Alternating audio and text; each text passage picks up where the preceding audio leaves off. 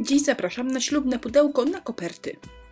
Dawno temu w odległej galaktyce, czyli za moich czasów, świadek zbierał koperty do reklamówki i tyle. A dziś, dziś można elegancko. Pudełko można ozdobić i zrobić z niego piękną pamiątkę ze ślubu. A przy okazji przypomniało mi się, co to jest małżeństwo. To taki związek dwóch osób, w którym jedna osoba zawsze ma rację, a druga osoba to mąż. Z ornitologów, czyli zaobrączkowanych, nie wypada się śmiać. Przejdźmy lepiej do pracy. Drewniane pudełko o wymiarze 25 na 25 cm z dziurą na koperty u góry. Przemalowuję je na biało dwa razy, w środku też, żeby ładnie wyglądało. To jest papier ryżowy, świetny do ozdabiania drewnianych pudełek. Znakomity także dla początkujących dekuparzystów. Mało pracy, a efekt fajny. Wzory, które chcę przykleić, wyrywam z papieru. Dokładność umiarkowana.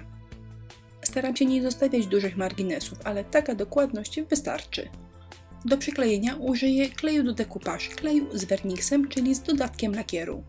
Najwygodniejszy jest szeroki syntetyczny pędzel i można przyklejać. Klejem smaruję powierzchnię, przykładam papier ryżowy i wszystko dokładnie zaklajstrowuję klejem od góry. Na papierze ryżowym po prostu nie da się zrobić zmarszczek, on zawsze ładnie siada. Więc jeżeli jesteś osobą początkującą i obawiasz się, czy dasz sobie radę, to mówię, dasz sobie radę, spokojnie. Gdy klej wyschnie, całe pudełko przemalowuję jeden raz lakierem akrylowym matowym. Lakier po pierwsze zabezpiecza, a po drugie ujednolica połysk. A teraz będzie transfer, transfer wydruku laserowego. Imiona młodych napisałam, odwróciłam w Wordzie, czyli mam odbicie lustrzane i teraz taki wydruk będę transferowała na pudełko. To jest transfer żel, czyli preparat, który przenosi nam wydruk laserowy na płaską powierzchnię. Preparatem smaruję miejsce, gdzie będę robiła za chwilę transfer. Transfer żelem smaruję także kartkę, na której mam zrobiony wydruk.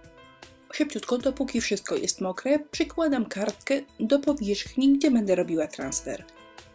To jest koszulka do dokumentów i teraz wszystko bardzo dokładnie wygładzam. Jeżeli klej nałożony był nierówno, to teraz wszystko jest gładkie. Wszystko suszę dokładnie suszarką, trzy razy po jednej minucie. A teraz przyda się woda i pędzelek gąbkowy. Wodą dokładnie moczę kartkę i gdy zmieni kolor, to znak, że można ją zacząć peelingować. Bez problemu papier roluje się pod naszymi palcami. Jeżeli kulanie idzie opornie, dodajemy wody. Skulanie takiego obrazka zabiera około 2-3 minut. Gdy wszystko już wygląda pięknie, można to polakierować. Ja nie czekam aż transfer wyschnie, zazwyczaj lakieruję jeszcze na mokro. Jeżeli macie czas i możliwości, to warto polakierować pracę dwa albo trzy razy. Te proste zawijaski to jeden z moich ulubionych szablonów. A to jest preparat, który bardzo lubię i często używam. Klej tymczasowy do szablonów. Działanie jest proste. Po pierwsze, trzeba cieniutko spryskać szablon. Następnie przez około 30 sekund go.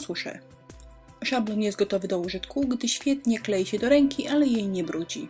Potrzebuję jeszcze szpatułki oraz pasty. Pasta strukturalna, kolor biały perłowy, czyli taki, który mi zupełnie nie pasuje. Ale takimi rzeczami nie należy się przejmować, po prostu trzeba taką pastę zabarwić. Odrobinę beżowej i żółtej farby akrylowej załatwia sprawę. A teraz już wszystko pójdzie jak po maśle. Szablon spryskany klejem tymczasowym znakomicie trzyma się pudełka. Nakładam pastę, podnoszę szablon i tatą, wszystko wygląda pięknie. No dobra, szablon jest trochę za mały i gdy wszystko wyschnie, uzupełnię ten kawałek na pudełku i jeszcze raz przykładając szablon. Ale taki problem to nie problem, po prostu wszystko będzie trwało odrobinę dłużej. Pasta teraz jest znakomita. Po pierwsze kolor jest odpowiedni, a po drugie pozostała perłowa, co nadaje pracy elegancji. Ostatnim elementem są perełki, a raczej półperełki samoprzylepne. Mamy w sklepie duży wybór takich perełek, ale ostatecznie zdecydowałam się na te wielkie koloru ekri.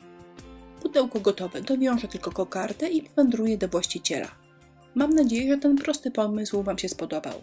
Listę produktów użytych w tym filmie jak zwykle zamieściłam w jego opisie.